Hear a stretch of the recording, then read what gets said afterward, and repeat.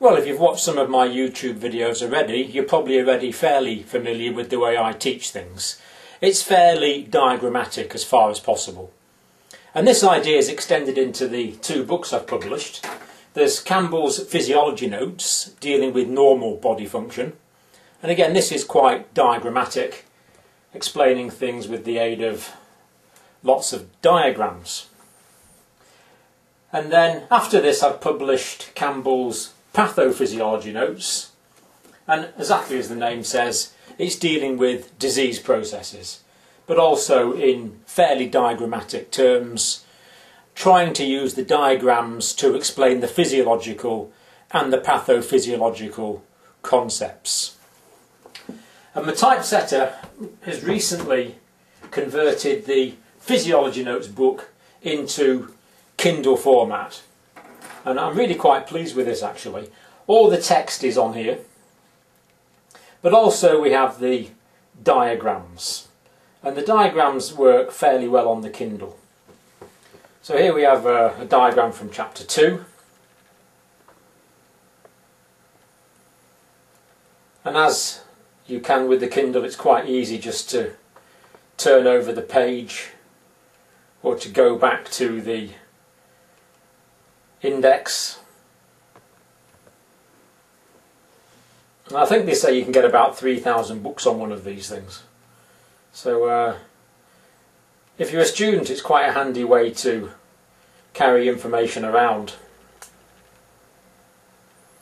And the physiology book is currently available for download in this Kindle format. And actually my typesetter, my graphic designer is currently working on the pathophysiology notes which should be available shortly. And one of the features that's nice about this is he's done all the diagrams separately so you can zoom in on one of the diagrams. Gives you a chance to copy it or to do anything you want with it really.